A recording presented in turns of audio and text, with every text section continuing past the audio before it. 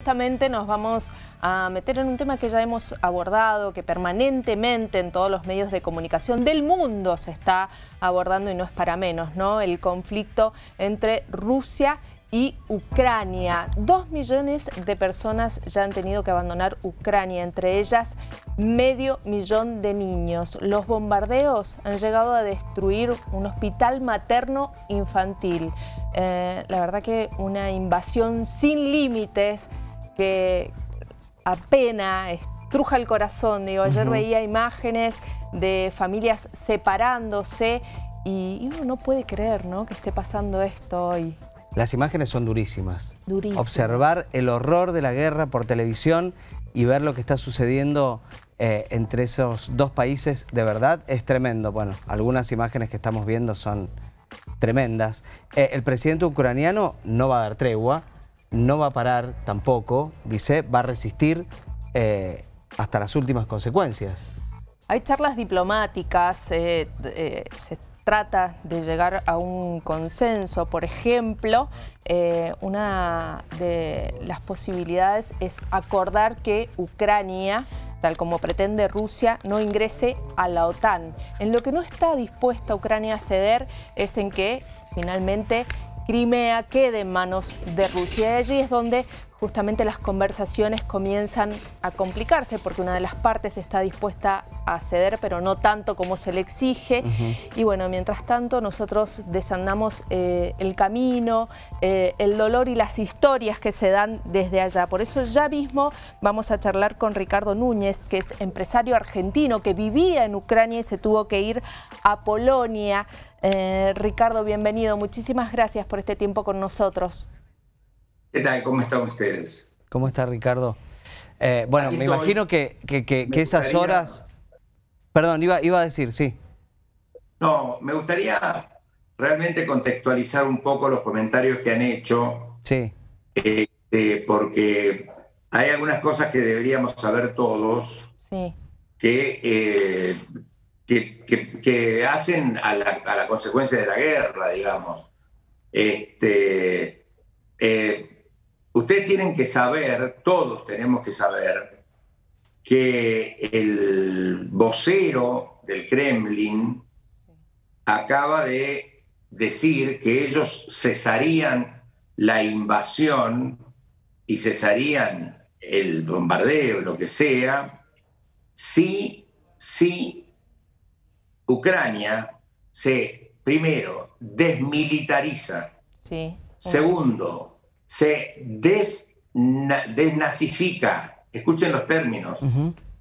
Tercero, si le reconoce a Rusia la soberanía total sobre Crimea, si le reconoce la soberanía a los países, a las repúblicas separatistas este, de Donetsk y de Lugansk, y si reforma la constitución y ah, por supuesto, renuncia a entrar a la OTAN, ¿sí? Para, para siempre. Eh, ustedes imagínense que lo que se está planteando es una cosa absolutamente imposible porque dejaría a Ucrania a merced de Rusia como si fuera un corredor más, un, un terreno, el, terreno, el, patio trasero de la casa. La, plaza de estacionamiento. Exactamente. Hay que tener, eh, hay que saber bien, digamos, tenemos que todos tener conciencia de lo que está queriendo hacer Rusia. Sí, Digamos, eh, eh, nadie se puede meter en la cabeza de Putin porque seguramente no hay un tratado de psiquiatría que pueda hacer entender lo que está haciendo este hombre, ¿cierto?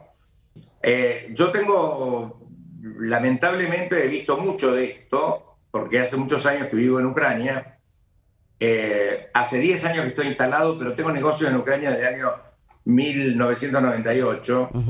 Y lo he visto a Putin actuar durante mucho tiempo. Putin hace 20 años que está en el poder. Y en los últimos tiempos, Putin ha dado las señales que, de lo que va a hacer y lo que está haciendo, o sea, de lo que está cumpliendo. Lo primero que hizo fue este, proclamar hace muchos años que Crimea era de Rusia y la ocupó y la anexó. Lo segundo que hizo fue que las repúblicas separatistas, esas dos regiones, eran rusas, porque eran de la etnia rusa. Entonces las sublevó y las declaró como repúblicas separatistas.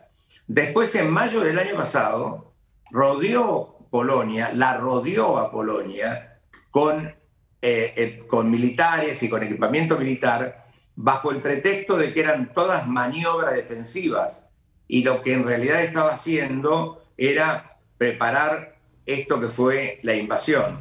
Hasta el día anterior a la invasión juraba que no quería invadir Ucrania, pero el día de fue cuando él apareció por televisión en directo hablando de Ucrania como un país que no existía, que no tenía soberanía, que no tenía etnia, que los ucranianos eran este, corruptos y drogadictos y además, además, este, que no merecían tener un, Estado, jurídicamente conformar un Estado. Entonces, a partir de ahí, al otro día reconoció a las, a repúblicas separatistas y lo que hizo inmediatamente fue firmar con las repúblicas separatistas, que si ustedes supieran lo que son las repúblicas separatistas, realmente eh, le darían, con, esto le daría eh, expresión a lo que estoy diciendo, y firmó con las repúblicas separatistas, las reconoció a las repúblicas separatistas, firmó un acuerdo de ellas de asistencia recíproca, cultural, industrial, armada, ¿no? Y declaró inmediatamente que iba a proteger a la República Separatista por esos tratados, iba a preservar la paz. Entonces desplazó todas sus fuerzas que estaban apostadas en la zona de las repúblicas separatistas a proteger la paz de las repúblicas separatistas. Y las repúblicas separatistas tienen 300, 120 kilómetros de la frontera con Rusia y el ejército llegó a los 300 y pico. ¿Me entienden? O sea, Tenemos, que, tenemos que reconstruir la historia porque este hombre eh, no va a parar y trata de, trata de hacer desaparecer Ucrania. Y Ucrania, y Ucrania es Europa. A ver, Ucrania no solamente es Europa porque está dentro de Europa Central, como está Polonia dentro de Europa Central, como está Checoslovaquia dentro de Europa Central, sino que Ucrania quiere ser ucraniana, quiere ser europea. Hace 31, 31 años declararon su independencia. La generación que hoy vive que tenía 15 años cuando declararon independencia y que hoy vive, este, que hoy tiene 45 años, vivieron 30 años independientes como ucranianos y con un país que se llama República de Ucrania y que también comprendía Crimea. Pero son ucranianos con vocación europea. Los, aquellos que a lo mejor se acuerdan del comunismo, están fuera del circuito de la producción, del circuito económico, del circuito social, de los circuitos que hacen progresar un país. Son gente grande, son pensionados. Entonces, este, lo que está lo que, el objetivo primero que tiene Putin es que Ucrania no sea europea. Ricardo, y en medio de todo esto su historia personal, ¿no? Vivía ahí en Ucrania y, después, este, a partir del 24 de febrero, no solo se tuvo que ir, sino que además hizo todo lo posible por ayudar a las familias de sus empleados. Eh, yo hace ocho años que vivo en guerra en Ucrania. O sea, yo hace 10 años o 9 años que me instalé en Ucrania. Empecé en Ucrania en el año 98, pero este, instalé, eh, ahí instalé la primera, las primeras empresas, pero un, decidí un día fijar mi casa, mi vida, fijarla en Ucrania, en Kiev.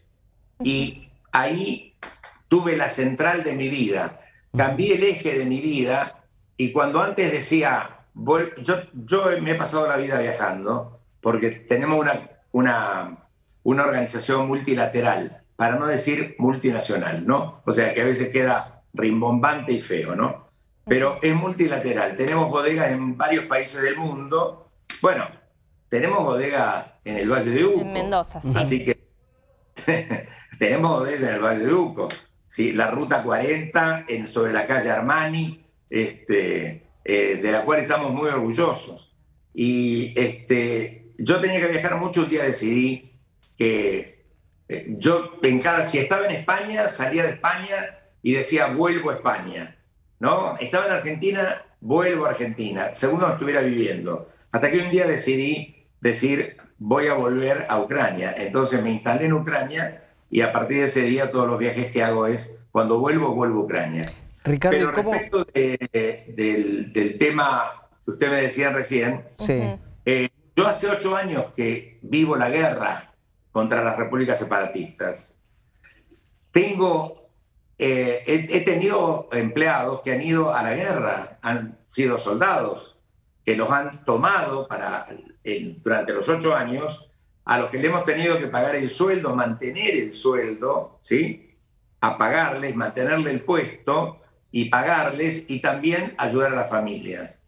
Pero además, todos los meses, desde hace ocho años, pagamos el impuesto a la guerra, que es el 1,5% de los salarios que pagamos mensualmente. El impuesto a la guerra pero no se llama como un eufemismo el impuesto a la actividad bélica, no, se llama impuesto a la guerra, que son los fondos que van destinados a sostener al ejército en, en, operaciones, digamos, ¿no? Entonces, para mí, esta, esta, esto fue una escalada más. La verdad es que mm, los ucranianos no creían que que Putin fuera capaz de mm, invadir. Yo tenía mis sospechas de que era capaz. Eh, y cuando se armó esto, digamos, cuando ya, cuando Putin engañó al mundo, cuando lo engañó al mundo, diciendo, no voy a invadir, y al otro día invadió, cuando engañó al mundo, a mucha gente le agarró de sorpresa. A nosotros no, no del todo. Lo que hicimos fue trasladar, nosotros tenemos la centralización eh, administrativa, la pusimos en Ucrania. Manejamos todo el mundo desde Ucrania, porque son unos genios tecnológicos los ucranianos. Tienen una tecnología informática y de comunicación monumental. Yo no sé si ustedes saben, pero son los grandes inventores de todos los juegos eh, los ciberjuegos. Los ciberjuegos salen, la gran fábrica de ciberjuegos, que se los atribuyen, se hacen para Holanda, los hacen los ucranianos. Es una gran fuente de, importa, de, exportaciones e importaciones de dólares.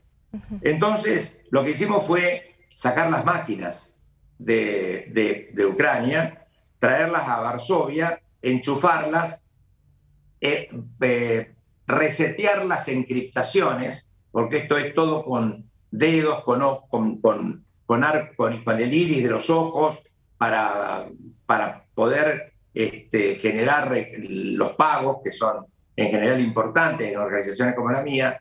Y de ahí, esto fue así. Para hacerlo, sacamos los, los expatriados. Expatriados son aquellos que usted contrata en un país para que sirvan en otro, ¿no? en este caso un italiano, un austríaco, una alemana, este, que tienen contrato de expatriado, pero el contrato no dice que tienen que ir a trabajar a la guerra, ¿no? Entonces los primeros que teníamos que sacar a los que yo tenía sobre como una mochila fueron a ellos. Y lo que les voy a contar ahora es lo que para mí me parece más importante de todo esto. Nosotros le ofrecimos, a mandamos a todos los empleados a la casa, a todos pero le ofrecimos salir a todos los empleados. menos los hombres que no pueden salir porque están vinculados al ejército, o sea, están, pueden ser llamados en cualquier momento. Y eh, por supuesto, los hombres dijeron que no, pero nos pidieron que nos confiaron sus familias, algunas de sus familias, para traerlas a, salvo. Y a Polonia. las mujeres, de la, perdón. A Polonia. A Polonia, por supuesto. Había que sacarlas por la frontera. Sí. Porque no se sabía, no era una cuestión de, a ver, de huir porque, porque venía, los, venían los marcianos. Era el terror a la guerra y que Rusia ganara rápidamente lo que ellos decían que iban a ganar. Entonces, por eso se, se, aglomeró tanta gente y hubo tanto problema. Nosotros lo hicimos con bastante logística, rápido, sacamos gente. Eh, ¿A cuántas los familias? Eh, en, ¿Cuántos sacamos o cuántos quedaron? Claro, no, ¿a cuántas familias sacaron? Sacamos siete. Ah. Y quedaron 30. Claro. Pero ¿saben por qué quedaron 30? Siete que son como 20, ¿no? Porque son madre e hijos. Claro. Pero ¿saben por qué quedaron 30? ¿Por qué? Porque no se quieren ir. No quieren dejar el país. Quieren luchar por Ucrania. Yo tengo guardado para vergüenza mía un email que yo le mandé email a todos los empleados diciéndoles que y teníamos que hacer el cronograma de salida. Y una de las empleadas me contestó que, que nunca, nunca el, el, sistema es muy rígido, el sistema de subordinación que todavía han recibido de la época comunista, ¿no? El presidente de la compañía es una especie de, de non plus ultra, digamos, e, esas cosas que están ahí arriba, y yo soy el totalmente lo contrario, o sea, yo me, me, el, el, único orgullo que me atribuyo fue que yo conozco a mi empleado por, por el nombre, ¿cierto? Entonces, lo, confío en ellos, son los que me llevan adelante, son los que llevan adelante la organización.